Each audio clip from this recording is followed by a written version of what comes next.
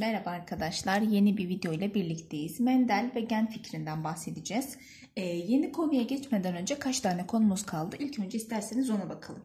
Arkadaşlar, e, bizim kalan konularımız şunlar bakın.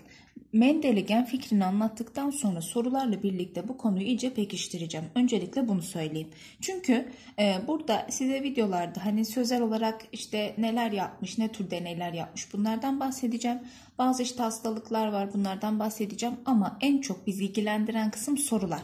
Çünkü sorular genelde sayısal olarak geliyor kalıtımla ilgili sorular. Bu yüzden de sorular üstünden e, daha çok böyle konuyu oturtmaya çalışacağım ve benim en sevdiğim konudur arkadaşlar kalıtım konusu. O yüzden size Normalde her videonun sonunda, her konunun sonunda bir tane soru çözümü yapıyordum. Ama bundan kaç tane olursa o kadar çözeceğim. 4 olur, 5 olur fark etmez. O kadar soru çözeceğim arkadaşlar size ki daha iyi bir şekilde otursun diye, daha iyi anlayalım diye. Peki Mendel'i bitirdikten sonra yani kalıtım tamamen bittikten sonra hangi konuya geçiş yapacağız? Virüslere geçiş yapacağız arkadaşlar. Bu arada konu sıralaması olarak Campbell'dan gitmeye karar verdim. Normal ÖABT kitaplarında hem birazcık konu eksiği var arkadaşlar. Yani tam olarak Campbell'a anlatmıyor. E, eksik olan tarafları çok fazla var. O yüzden konu sıralaması olarak da oradan gitmeyi planlıyorum. En azından siz de işte ben konuyu anlattıktan sonra oradan da bakarak hani bir konuyu oturtmuş olursunuz. Virüslerden sonra biyoteknolojiyi anlatacağız. Sonra evrime geçeceğiz arkadaşlar. Evrimi anlattıktan sonra sınıflandırmaya yani türlerin kökenine geçmiş olacağız. Sınıflandırma burada bakteriler, arkeler, bir hücreliler, daha sonra bitkilerin sınıflandırılması, mantarlar ve hayvanlar diyerek sınıflandırma konusunu bitirmiş olacağız. Yani oldukça uzun yolumuz var aslında. Sonra neye geçeceğiz peki? Bitkilerin sistemine geçeceğiz arkadaşlar. Yani sınıflandırmada ayrı bitkileri işleyeceğiz. Orada bitki isimlerinden daha çok bahsedeceğiz. Ama bitkilerin yapısına baktığımızda aynı bir insan gibi bitkinin yapısını da işleyeceğiz. Daha sonra sistemler tabii ki. Arkadaşlar sistemler oldukça e, nasıl diyeyim detaylı. O yüzden sistemler biraz daha uzun sürecek. Sonra ise en sonunda ekoloji girmiş. E, Campbell'a göre en son ekoloji anlatılıyor ama bilmiyorum belki sınıflandırmayı anlattıktan sonra ekolojiyi anlatabilirim. Sonra bitkiler ve sistemlere geçiyor olabilirim. Hani buna tam karar vermedim ama bakarız siz de yorumlarda yazabilirsiniz. Sınıflandırmadan sonra mı anlatayım ekolojiyi yoksa en son mu anlatayım arkadaşlar? Siz de yorum olarak yazarsanız en azından bir fikir sahibi olurum. Daha ona karar vermedim. Evet şimdi gelelim Mendel'in gen fikrine. Arkadaşlar Mendel İlk önce kendisinden bahsedeyim Mendel'in. Mendel bir bilim insanı ama nasıl bir bilim insanı bakın. E, rahip bir bilim insanı arkadaşlar ve e, rahiplik yaptığı işte kilisede, bahçede böyle bunlar tarımsal işler yapıyorlarmış. Hani tarım alanlarında kendilerini kendilerine yetecek kadar bitki işte e, yetiştiriyormuş sebze meyve. Mendel bir gün işte bir şeyin farkına varmış. Ya demiş ki Burada ben bunları yetiştiriyorum ama mesela bezelyelerden zaten Mendel gidiyor. Çünkü bahçede bezelye yetiştiriyor. Ya bunların bazılarının işte çiçeklerinin rengi mor, bazılarının beyaz. E bazının tohumu buruşuk, bazının bazısının düz. E bakıyor arkadaşlar bir sürü farklılıklar var. Acaba bunlar neden kaynaklanıyor olabilir diye düşünüyor ve başlıyor deneyler yapmaya. Arkadaşlar deneyler yaparken ilk önce arı döl elde ediyor. Arı döl demek saf demek. Saf döl demektir. Bu saf dölleri kendi arasında çaprazlıyor. Mesela mor çiçeğin saf dölüyle beyaz çiçekli bezelyelerin saf dölünü çaprazlıyor. Oluşan F1 dölünün F1 yani birinci oğul kuşağı tamamının mor çiçekli olduğunu görüyor. Allah Allah diyor. Yani ben beyazı da kattım, moru da kattım. Normal düşüncesine göre işte morla beyazı çaprazladığı zaman ortada bir renk çıkması gerekiyordu. Çünkü bu karışım fikri aslında ilk önce onun aklına gelmiş. Hani genler birbiriyle araya geldiğinde karışıyorlar ortaya ayrı bir özellik çıkıyor gibi düşünmüş. Böyle bir özellik de var ama Mendel'in çalışmalarında bu özellik ortaya çıkmıyor arkadaşlar. Ee, bakıyor ki F1 mor oldu. O zaman diyor ben bu F1'i F1 döllerini kendi arasında çaprazlayayım diyor. F1'i kendi arasında çaprazlıyor ve oluşan F2 kuşağı yani ikinci oğul kuşakta hem mor renkli bezelyelere rastlıyor yani mor çiçekli hem de beyaz çiçeklilere rastlıyor. Allah Allah diyor bu nasıl olabilir gibi bir sürü deney yapıyor arkadaşlar. Tabi bunu tek bir deneyle e, bırakmıyor bir sürü deney yapıyor ve bu deneyler sonucunda da bazı kurallar buluyor. Şimdi sizinle o kuralları işleyeceğiz. İlk önce şöyle bir başlık yazalım. şöyle geçelim bir başlığımızı yazalım arkadaşlar. Mendel'in Mendel'in deneysel deneysel ve niceliksel yaklaşımı. Nicelik ne demekti? Sayısal değil mi? Niceliksel yaklaşımı diyeceğiz. Arkadaşlar ilk önce şunu söyleyelim. Bakın ne diyeceğiz? Bireyler arasında çeşitlilik gösteren özelliklere biz ne diyoruz? Karakter diyoruz. Bireyler arasında çeşitlilik gösteren özellikler. Nedir bunlar? Karakter. Mesela göz rengi, işte tohum şekli, saç şekli bunlar nedir? Bireyler arasında farklılık gösteren özelliklerdir. Biz bunlara karakter diyoruz. O zaman yazalım. Bireyler arasında farklılık gösteren farklılık gösteren özelliklere karakter denir. Şimdi bunları bilmemiz lazım ki ileride soru çözerken işte karakter neydi, aller neydi falan bunlarla karşılaşmayalım. Arkadaşlar bir karakterin her bir farklı tipine de biz özellik diyoruz. Mesela ee, göz rengi dedik değil mi? Bu nedir? Bir karakterdir. Peki göz renginin çeşitleri var mı? Var. Mesela mavi göz var, yeşil göz var, kahverengi göz var. O zaman bunlar da nedir her biri? Her biri özelliktir arkadaşlar. O zaman şöyle yazalım. Bir karakteri bir karakterin her bir farklı tipine farklı tipine özellik denir. Özellik denir. Yine örnek olarak yazayım. Şöyle diyeceğiz. Çiçek rengi çiçek rengi karakter. Mesela mor beyaz çiçek. Mor beyaz çiçek. Bu da nedir arkadaşlar? Özelliktir değil mi? Özellik. Evet. Eğer ki genlerinde aynı özelliği bulunduran bir canlı varsa elimizde arkadaşlar biz buna saf döl veya arı döl diyoruz. Bakın genlerinde genlerinde aynı özelliği bakın özellik dedik yani mor mor. Gen, geninde mor gen olacak. Yani mesela genellikle çift alleller üzerinden konuşacağız arkadaşlar. Mesela bir karakter iki allelle veya bir özellik iki allelle kalıtılır diyeceğiz. E, iki alleli de aynıysa eğer biz buna ne diyeceğiz? Saf döl arı döl diyeceğiz. Genlerinde aynı özelliği bulunduran aynı özelliği bulunduran canlılara saf ya da arı, döl denir. Peki farklı özelliği bulunduruyorsa arkadaşlar yine genlerinde farklı özelliği, farklı özellikleri bulunduran canlılara da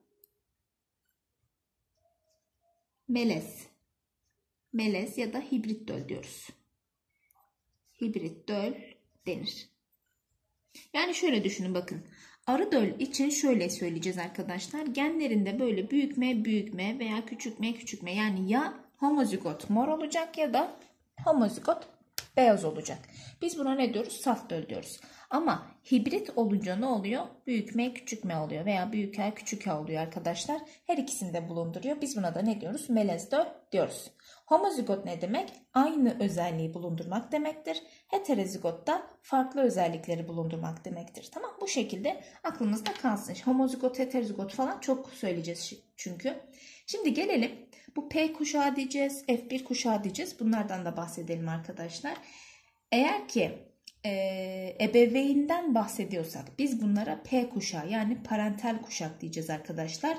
Arı döl olan ebeveynlere yani saf döl olan arı döl olan ebeveynlere ebeveynlere ne diyoruz? P kuşağı. P kuşağı. P kuşağının adı açılımı parental. Yani ebeveyn demektir arkadaşlar. Bunların hibrit yavrularına ne diyoruz peki? Bunların hibrit yavrularına birazdan şey üstünde göstereceğim zaten. Hibrit yavrularına ne denir? F1 kuşağı. F1 kuşağı. Bu da arkadaşlar yani birinci birinci filial kuşak. Filial kuşak dediğimiz e, oğul kuşak demektir. F1 kuşağı denir. Arkadaşlar F1 kuşağının kendileştirilmesi sonucu yani kendi kendine döllenmesi sonucunda da ne oluşuyor? F2 kuşağı oluşuyor. Bu da ikinci oğul döldür. Şimdi bakın Mendel arkadaşlar ne yapmış? Tüm özellikleri hem parental kuşakta hem F1 kuşağında hem de F2 kuşağında ee, izlemiş. Bunların hepsini izlemiş. Daha sonra karşılaştırmış ve sonuçlarını bulmuş. Bunların sonucu da yaptığı incelemeler sonucunda bağımsız dağılım ilkesini ve bağımsız açılım kurallarını bulmuştur arkadaşlar. Bu kurallardan bahsedeceğiz. Şimdi ilk önce çaprazlamayı nasıl yapıyor buna bakalım. Mendel'in yaptığı çaprazlama bakın. Çaprazlamayı nasıl yapmış Mendel? Arkadaşlar birinci olarak şöyle yapıyor. Mor çiçekten erkek organları kaldırıyor. Bakın. Mor çiçekten erkek organlar erkek organlara stamen diyoruz çiçeklerdeki kaldırılır. İkinci aşamada beyaz çiçeğin stamenlerinden aldığı yani erkek organlarından aldığı spermi taşıyan polenleri de getirip ne yapıyor? Mor çiçeğin yumurtasına koyuyor arkadaşlar. O zaman yazalım. Beyaz çiçeğin beyaz çiçeğin stamenlerinden alınan stamenlerinden alınan sperm taşıyan sperm taşıyan polenler polenler mor çiçeğin mor çiçeğin yumurta taşıyan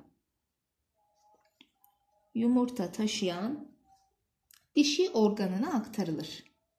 Dişi organına, dişi organa da karpel diyoruz. Aktarılır. Bunları zaten bitki biyolojisinde göreceğiz ama burada da hani karşımıza çıkabilir. O yüzden bilmemizde fayda var. Üçüncüsü arkadaşlar bu döllenmesi sağlanmış olan karpel ne yapıyor? Meyveye dönüşüyor bakın. Döllenen döllenen karpel meyveye dönüşür. Meyve dediğimizde bezelye. Meyveye dönüşür. Daha sonra arkadaşlar döllendikten sonra bu elde edilen tohumlar hani bezelyeler var ya bu tohumlar ekiliyor. Elde edilen elde edilen tohumlar ekilir Beşinci son basamakta hepsi mor çiçekli olan, hepsi mor çiçekli olan yavrular elde edilir. Yavrular elde edilir. Şimdi ben bunu size bir de harflerle göstereyim. Bakın mor çiçekten erkek organlar alındı. Bakın mor çiçekten. Homozigot ya bu bizim parental dölümüz yani F, e, P kuşağımız yani ebeveyn kuşağımız. Daha sonra arkadaşlar beyaz çiçeğin stamenlerinden alınan beyaz çiçekte küçükme küçükme göstereceğiz. Neden bunu böyle gösteriyorum? Çünkü baskın olduğu için. Hani Mendel henüz bunu bulmamış. Şu an mor beyaz olarak bahsediyor ama ben anlaşılabilir olsun diye direkt anlatıyorum arkadaşlar. Sonra bunları çaprazlıyor arkadaşlar. Çaprazlanınca ne oluyor? İşte döllenen karpel meyveye dönüşüyor. Daha sonra elde edilen tohumları ekiyor. Bezelyeleri ekiyor tekrardan. Ve hepsi mor çiçekli olan F1 ne oluyor? Bakın büyük M buradan gelir. Buradan da küçük M gelir. Hepsi mor çiçekli olan yavruları elde ediyor. Şimdi bu bizim F1 dölümüz. Daha sonra F1'i kendi arasında çaprazlıyor arkadaşlar. F1 çarpı F1 yapıyor. Yapalım. Bakın büyük M çarpı büyük M küçük M çarpı büyük M küçük M. Yaptığımız zaman ne olur? Büyük M büyük M. Büyük M küçük M. Büyük M küçük M. Küçük M küçük m. Ne oldu bakın? Büyük M taşıyanlar mor çiçekli oldu 3 bölü 4 yani %75 oranda. Küçük M'leri taşıyanlar ise ne oldu arkadaşlar? Beyaz çiçekli oldu. Bu da 1 bölü 4 oranında. Tabi bu oranları Mendel nasıl buluyor? Sayım yaparak. Mesela 1000 tane yavru elde ettiyse bunların yaklaşık 750 tanesinin mor çiçekli, 250 tanesinin de beyaz çiçekli olduğunu görüyor. Ve burada diyor ki o zaman bunlarda 3-1 oranı vardır diyor arkadaşlar. 3-1 fenotip oranı. O zaman burada bizim karşımıza genotip ve fenotip oranı çıkacak mı? Çıkacak. İsterseniz burada bu oranı da anlatayım size. Şöyle diyelim. Birazdan zaten ayrılma oranını verirken tekrardan anlatacağım. Ama şöyle genotip oranı ve fenotip oranı diyelim. Fenotip oranı. Genotip ne? Genler. Bakın şunlara bakacağız. Kaç tane büyükme büyükme var? Bir tane. Kaç tane büyükme küçükme var? İki tane. Kaç tane küçükme küçükme var? Bir tane. İşte genotip oranı dediğimiz oran ne oluyor? 1 2 1 oranı oluyor. Peki fenotip oranı dış görünüş. Kaç tane mor var arkadaşlar? 3 tane değil mi? Kaç tane beyaz var? Bir tane. İşte bizim fenotip 3-1 oranı dediğimiz oranda bu şekilde oluyor. Bunu ayrılma kuralına göre birazdan şimdi anlatacağım arkadaşlar. İsterseniz geçelim. Şöyle ayrılma kuralı diyelim. O kurala göre de anlatalım. Şimdi Mendel ne dedik? İki tane kural buldu dedik. İlk önce isterseniz onu yazayım. Mendel, Mendel yaptığı çalışmalar sonucu yaptığı çalışmalar sonucu dağılım ilkesi yani bağımsız dağılım ilkesi de diyebiliriz aslında. Dağılım ilkesi ve bağımsız açılım kurallarını bulmuştur. Bağımsız açılım kurallarını bulmuştur. Kurallarını bulmuştur. Şimdi birazdan anlatacağım bu ayrılma kuralı da yine bunlarla ilgilidir arkadaşlar. Bu dediğim dağılım ilkesini ve bağımsız açılım kuralını daha sonra açıklayacağım. Ama şimdi biz bir ayrılma kuralına bakalım. Şimdi genler birbirinden mecburen ayrılmak zorunda bu oranların çıkması için. O yüzden şu ayrılma kuralını bir anlatalım. Şöyle ayrılma kuralı diyorum. Ayrılma kuralı. Bunu bir anlatalım. Arkadaşlar Yaptığı çaprazlamalar sonucunda şimdi F1 kendini döllüyor ya.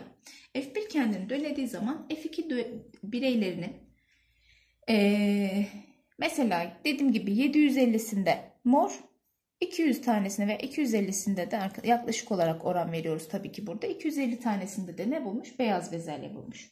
Şimdi bu çıktığına göre, bu oran çıktığına göre diyor ki beyaz çiçekten sorumlu kalıtsal faktör F1 bitkilerinde kaybolmamıştır. Sadece diğeri hani başka bir gen bunu baskıladığı için ortaya çıkmamıştır F1'de.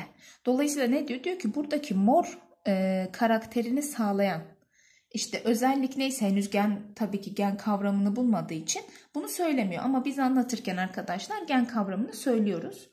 E çünkü anlatılması o şekilde daha kolay oluyor. Öbür türlü işte karakter falan filan e, kullanması uzun oluyor.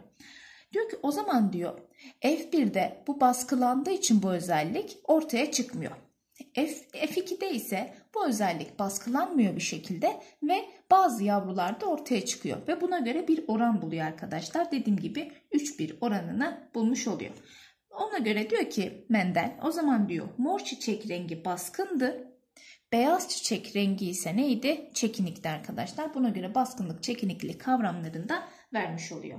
O zaman şöyle yazalım. Bakın tekrardan o yazdığım çaprazlamayı burada da göstereyim. Şimdi P olarak mor ve beyazı çaprazlıyor. Mor beyaz çaprazladı.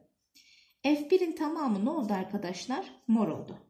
Daha sonra F1 çarpı F1 yaptı. Bakın F1 çarpı F1 yaptığı zaman mor, mor, mor şeklinde henüz harflendirme yok ve beyaz oluştu. Yani bakıyor ki 705 e, tane yaklaşık olarak arkadaşlar burada tam sayıyı vereyim. 705 tane mor buluyor. 224 tane de beyaz buluyor. E şimdi sen bu oranı yaparsan eğer yaklaşık olarak 3-1 oranını ortaya çıkarmaz mısın? 3-1 oranı ortaya çıktı. 3-1 oranı ortaya çıktı.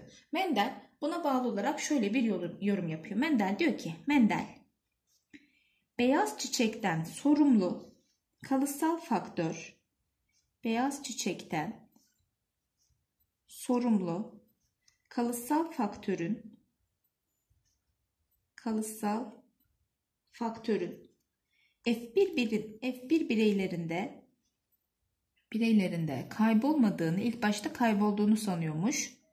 Kaybolmadığını ancak ancak Mor çiçek. Mor çiçek faktörü varlığında. Burada fak biraz sonra faktör yerine gen kullanacağız zaten. Faktörü varlığında beyaz çiçekten sorumlu beyaz çiçekten sorumlu faktörü gizlediği bakın gizlediği ya da maskelediği maskelediği sonucuna varmıştır. Sonucuna varmıştır. Şimdi buna bağlı olarak da ne çıkıyor? Baskınlık dominantlık. Sonra diyor ki buna göre Bakın buna göre mor çiçek rengi baskın, mor çiçek rengi baskın, beyaz çiçek rengi beyaz çiçek rengi çekinik. Çekinik özelliktir diye arkadaşlar ortaya tabii ki atılıyor. Şimdi Mendel bu çalışmaları yapıyor, yapıyor ama Mendel'in yaptığı bu çalışmalarda e, ilk başta kabul görmüyor arkadaşlar. Şimdi bunu bir kitap haline getiriyor ve diğer bilim insanlarına gönderiyor. Bir bilimsel e, görüşün e, teori ya da kanun kabul edilebilmesi için hani bilimsel bilginin işte e, basamaklarını anlatırken size söylemiştik. Başka bilim insanları tarafından da doğrulanması gerekiyordu. Şimdi gönderiyor bunları ama o bilim insanları kabul etmiyorlar ilk başta. Yaklaşık Mendel öldükten kaç yıl sonraydı tam olarak hatırlamıyorum ama bayağı bir sonra 400-500 yıl sonra falan tekrardan bu açıklamalar ortaya çıkıyor. Ve Mendel o zaman kalıtımın babası olarak isimlendiriliyor arkadaşlar. Tabi sağken hiçbir kişinin tabi önemi, e, önemi algılanmıyor maalesef öldükten sonra elimizden kaybettikten sonra genelde kıymetini biliyoruz. Bu da onların bir örneğidir. Evet şimdi Mendel bezelye çaprazlamaları yapıyor ve ben size bu çaprazlamaların bazı sonuçlarını vereceğim arkadaşlar. Hemen yazıyorum. Mendel'in Mendel'in bezelye bitkilerindeki Şimdi bezel bitkilerinde çok fazla karakter de var. Hatta 7 tane karakter var arkadaşlar. 7 karakter için yaptığı F1 çaprazlamaları sonuçları. F1 çaprazlama sonuçları. Şimdi 7 tane karakter olduğu için her bir karakteri ayrı ayrı inceleyerek de bunları kanıtlamış oluyor. O yüzden de e, bezelyeleri seçmiş oluyor arkadaşlar. Şimdi şuraya karakter yazacağız. 7 tane karakter yazacağız arkadaşlar. Buraya başat özellik yani baskın özelliği yazacağız. Başat özellik. Şuraya çekinik özellik diyeceğiz. Çekinik özellik. Buraya da ne diyeceğiz? Oran diyeceğiz. Fenotip oranını vereceğiz. Şimdi bakın karakterimiz ne? Çiçek rengi. Çiçek rengi. Çiçek rengi olarak baskın özellik mor, çekinik özellik beyaz ve bulduğu oran 3,15'e 1 oranı. Yani bunlar küçük farklılıklar gösterebilir ama biz bu e, virgülden sonrasını almıyoruz. 3-1 oranı diyoruz. Daha sonra çiçek konumu. Çiçek konumu aksiyal yani yanlarda aksiyal ya da uçta olabilir. Aksiyal olan baskın, e, uçta olan çekinik. Burada da 3,14'e 1 oranını buluyor. Daha sonra tohum rengi tohum rengi. Bu da sarı ya da yeşil olabilir. Sarı olan baskın, yeşil olan çekinik. Burada da arkadaşlar 3,01'e yine 1 oranı buluyor. Sonra tohum biçimi. Tohum biçimi. Burada yuvarlak ve buruşuk. Yuvarlak, yuvarlak olan baskın, buruşuk olan çekiniktir. Burada da arkadaşlar 2,96'ya 1 buluyor. Yine bakın yaklaşık 3 oranı var. Tohum zarfının biçimi. Tohum zarfı biçimi. Bu da şişkin ya da boğumlu olabilir. Şişkin, boğumlu. Şişkin olan daha baskınmış. Burada bulduğu oranda 2,95'e 1. Sonra tohum zarfının rengi. Tohum zarfı rengi. Bu da arkadaşlar yeşil ve sarı olabilirmiş. Yeşil sarıya baskınmış. Yeşil sarı. Bakın tohum renginde sarı yeşile, yeşile baskın ama tohum zarfının renginde yeşil sarıya baskın. Burada da bulduğu 2,82'ye 1 oranını buluyor. Son olarak da gövde uzunluğu diyeceğiz. Gövde uzunluğu. Uzunluk kısalığa baskınmış arkadaşlar. Uzun kısa diyeceğiz. Bunda da 2,84'de 1 oranını buluyor. Şimdi bu oranlar tabii ki bize sorulmaz ama Mendel'in yaptığı çalışmalardan bahsetmek istedim arkadaşlar. Böyle teker teker tabii ki e, bahsediyor. Dolayısıyla böyle çalışmalarda yapmış oluyor. Şimdi buraya kadar bir giriş yaptık. Şöyle kısaca bir bahsettik. Bu videoyu burada bitireceğim.